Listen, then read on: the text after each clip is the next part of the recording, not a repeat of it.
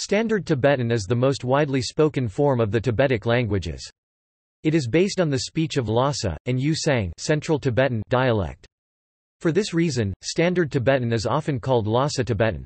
Tibetan is an official language of the Tibet Autonomous Region of the People's Republic of China. The written language is based on Classical Tibetan and is highly conservative. Registers Like many languages, Standard Tibetan has a variety of language registers. Phal Skad, demotic language, the vernacular speech. Zhesa, polite respectful speech, the formal spoken style, particularly prominent in Lhasa. Chos Skad, religious or book language, the literary style in which the scriptures and other classical works are written. Grammar Topic: Syntax and word order. Tibetan is an ergative language. Grammatical constituents broadly have head-final word order. Adjectives generally follow nouns in Tibetan, unless the two are linked by a genitive particle. Objects and adverbs precede the verb, as do adjectives in copular clauses. A noun marked with the genitive case precedes the noun which it modifies. Demonstratives and numerals follow the noun they modify. Topic: Numerals Unlike many other languages of East Asia and especially Chinese, another Sino-Tibetan language, there are no numeral auxiliaries or measure words used in counting in Tibetan although words expressive of a collective or integral are often used after the tens, sometimes after a smaller number. In scientific and astrological works, the numerals, as in Vedic Sanskrit, are expressed by symbolical words. Writing system Tibetan is written with an Indic script, with a historically conservative orthography that reflects Old Tibetan phonology and helps unify the Tibetan language area. It is also helpful in reconstructing Proto-Sino-Tibetan and Old Chinese. Wylie transliteration is the most common system of romanization used by Western scholars in rendering written Tibetan using the Latin alphabet such as employed on much of this page. Tibetan Pinyin, however, is the official romanization system employed by the government of the People's Republic of China. Certain names may also retain irregular transcriptions, such as Chomolungma for Mount Everest. Phonology of modern Lhasa Tibetan The following summarizes the sound system of the dialect of Tibetan spoken in Lhasa, the most influential variety of the spoken language. Topic: Vowels. Tournadre and Sangda Dorje describe eight vowels in the standard language. Three additional vowels are sometimes described as significantly distinct, or which is normally an allophone of a, which is normally an allophone of o, and an unrounded, centralized, mid-front vowel, which is normally an allophone of e. These sounds normally occur in closed syllables, because Tibetan does not allow geminated consonants, there are cases in which one syllable ends with the same sound as the one following it. The result is that the first is pronounced as an open syllable but retains the vowel typical of a closed syllable. For instance, zhabs foot is pronounced p and pad borrowing from Sanskrit padma, lotus is pronounced p, but the compound word, zhabs pad is pronounced p. This process can result in minimal pairs involving sounds that are otherwise allophones. Sources vary on whether the phone resulting from e in a closed syllable and the phone resulting from a through the i mutation are distinct or basically identical. Phonemic vowel length exists in Lhasa Tibet but in a restricted set of circumstances. Assimilation of classical Tibetan suffixes, normally I, at the end of a word produces a long vowel in Lhasa Tibetan, the feature is sometimes omitted in phonetic transcriptions. In normal spoken pronunciation, a lengthening of the vowel is also frequently substituted for the sounds r and l when they occur at the end of a syllable. The vowels i, y, e, o, and each have nasalized forms, i, y, e, o stroke, and, respectively, which historically results from, in, n, etc. In some unusual cases, the vowels a, u, and o may also be nasalized. Topic: Tones. The Lhasa dialect is usually described as having two tones, high and low. However, in monosyllabic words, each tone can occur with two distinct contours. The high tone can be pronounced with either a flat or a falling contour, and the low tone can be pronounced with either a flat or rising falling contour, the latter being a tone that rises to a medium level before falling again. It is normally safe to distinguish only between the two tones because there are very few minimal pairs that differ only because of contour.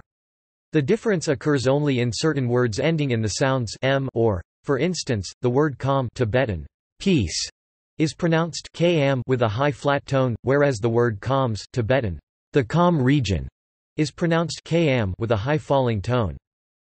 In polysyllabic words, tone is not important except in the first syllable. This means that from the point of view of phonological typology, Tibetan could more accurately be described as a pitch accent language than a true tone language, in which all syllables in a word can carry their own tone. Consonants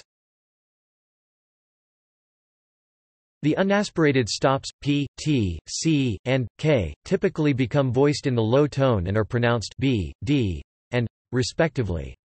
The sounds are regarded as allophones. Similarly, the aspirated stops p, t, c, and k are typically lightly aspirated in the low tone. The dialect of the upper social strata in Lhasa does not use voiced stops in the low tone. The alveolar trill r is in complementary distribution of the alveolar approximant, Therefore, both are treated as one phoneme.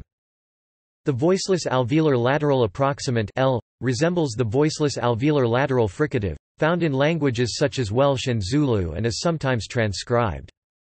The consonants per meter, p, r, l, and, k, may appear in syllable final positions.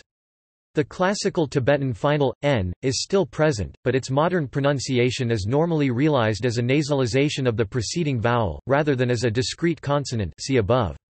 However, k, is not pronounced in the final position of a word except in very formal speech. Also, syllable final, r, and, l, are often not clearly pronounced but realized as a lengthening of the preceding vowel. The phonemic glottal stop appears only at the end of words in the place of s, t, or k, which were pronounced in classical Tibetan but have since been elided. For instance, the word for Tibet itself was bod in classical Tibetan but is now pronounced po stroke in the Lhasa dialect.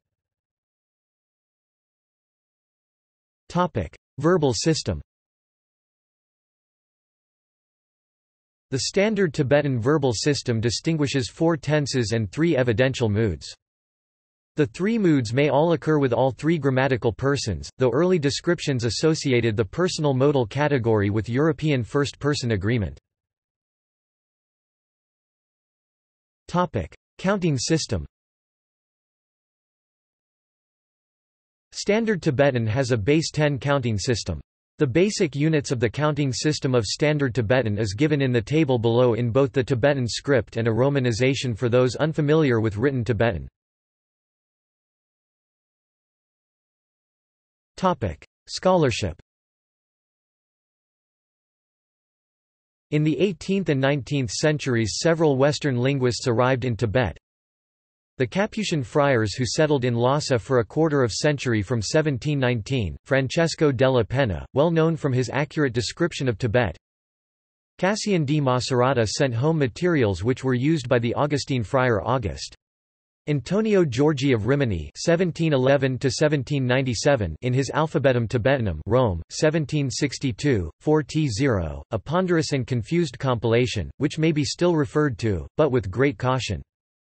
The Hungarian Sandor Korosi Csoma (1784–1842), who published the first Tibetan European language dictionary, classical Tibetan and English in this case, and grammar, essay towards a dictionary, Tibetan and English.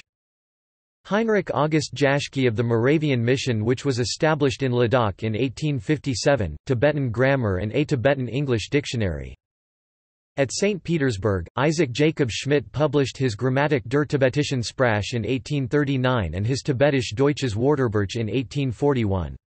His access to Mongolian sources had enabled him to enrich the results of his labors with a certain amount of information unknown to his predecessors. His Tibetisch Studien (1851–1868) is a valuable collection of documents and observations. In France, P. E. Foucaux published in 1847 a translation from the Rgyat Sher Rol Pa, the Tibetan version of the Lalita Vistara, and in 1858 a Grammaire tibétaine. Ant. Schiefner of St. Petersburg in 1849 his series of translations and researches. Theos Casimir Bernard, a Ph.D. scholar of religion from Columbia University, explorer and practitioner of yoga and Tibetan Buddhism, published, after his 1936–37 trip to India and Tibet, A Simplified Grammar of the Literary Tibetan Language, 1946. See the Books section. Indian Indologist and linguist Rahul Sankrityayan wrote a Tibetan grammar in Hindi.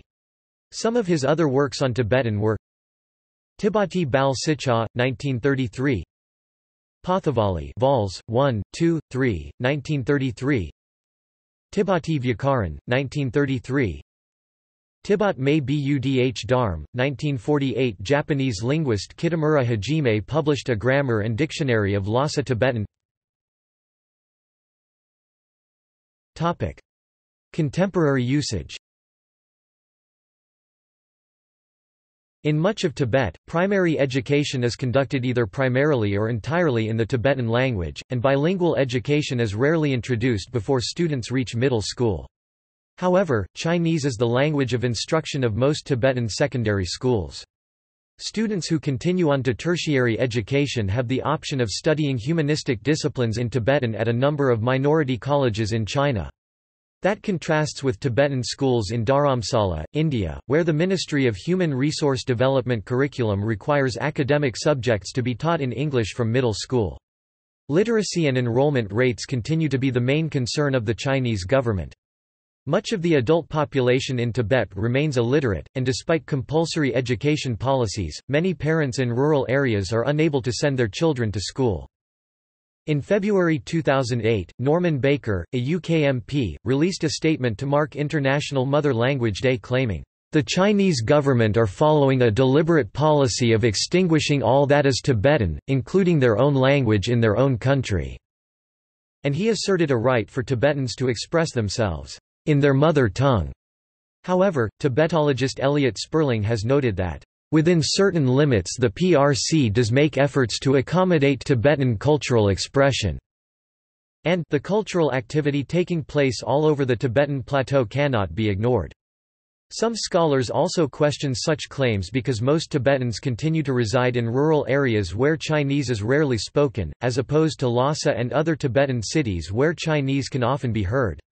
In the Texas Journal of International Law, Barry Sautman stated that none of the many recent studies of endangered languages deems Tibetan to be imperiled, and language maintenance among Tibetans contrasts with language loss even in the remote areas of western states renowned for liberal policies. Claims that primary schools in Tibet teach Mandarin are in error. Tibetan was the main language of instruction in 98% of TAR primary schools in 1996. Today, Mandarin is introduced in early grades only in urban schools. Because less than 4 out of 10 TAR Tibetans reach secondary school, primary school matters most for their cultural formation. The most important Tibetan branch of language under threat is, however, the Ladakhi language of the Western Tibetan group, in the Ladakh region of India. In Leh, a slow but gradual process is underway whereby the Tibetan vernacular is being supplanted by English and Hindi, and there are signs of a gradual loss of Tibetan cultural identity in the area. The adjacent Balti language is also in severe danger, and unlike Ladakhi, it has already been replaced by Urdu as the main language of Baltistan, particularly due to settlers speaking Urdu from other areas moving to that area. Topic see also Amdo Tibetan language Khams Tibetan language Languages of Bhutan Voice of America Tibetan Language Service topic References topic Further reading Bernard, Theos C. 1946, A Simplified Grammar of the Literary Tibetan Language, Santa Barbara, California, Tibetan Text Society. Das, Sarat Chandra 1902, Tibetan English Dictionary with Sanskrit synonyms, Calcutta, Bengal Secretariat Book Depot. Reprinted by Motilal Banarsidass, Delhi, ISBN 81-208-1713-3. Hodge, Stephen 2003, An Introduction to Classical Tibetan, Orchid Press, ISBN 974-524-039-7. Jaschke, Heinrich August 2004, A Short Practical Grammar of the Tibetan Language, with special reference to the spoken dialects, London, Hardinge Simpole, ISBN 1-84382-077-3. Contains a facsimile of the original publication in manuscript, the first printed version of 1883, and the later addenda published with the third edition, p. 4 of cover, first edition published in Kyelang and Brit. Lahul by the author, in manuscript, in 1865. 1866. Romanized Tibetan and English Dictionary. Retrieved 30 June 2011, original from Oxford University, 1881. A Tibetan-English dictionary, with special reference to the prevailing dialects, to which is added an English-Tibetan vocabulary. London, Unger Brothers T. Grimm. 1883. Heinrich Wenzel, ed. Tibetan Grammar. Trubner's Collection of Simplified Grammars. 7 2nd ed. London, Trubner & Co. Kopp, Teresa Kunkel, 1998. Verbalizers in Lhasa Tibetan. Ph.D. dissertation, University of Texas at Arlington. Naga, Sangye Tandar, 2010. Some Reflections on the Mysterious Nature of Tibetan Language in The Tibet Journal, Special Issue. Autumn 2009 Volume 34 n. 3 Summer 2010 Volume 35 n. 2. The Earth Ox Papers, edited by Roberto Vitali, pp. 561–566. Sandberg, Graham 1894. Handbook of Colloquial Tibetan, A Practical Guide to the Language of Central Tibet. Calcutta, Thacker, Spink & Co., original from Harvard University Tournadre, Nicholas, Dorje, Sangda 2003, Manual of Standard Tibetan, New York, Snow Lion Publications, ISBN 1-55939-189-8. Hahn, Michael. Foundational Questions of Tibetan Morphology. The Tibet Journal, Volume 33, No. 2, 1 July 2008, pp. 3–19. External links Online keyboard for Tibetan